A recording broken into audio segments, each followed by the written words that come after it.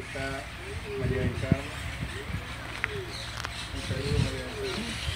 Estamos haciendo imágenes para el videoclip, por esa puerta y también para, para, el, para el backstage que se va a mostrar, va a estar muy lindo, con- mostrando todos los animalitos que hay acá en la reserva, Taliche. Un portazo de los animales.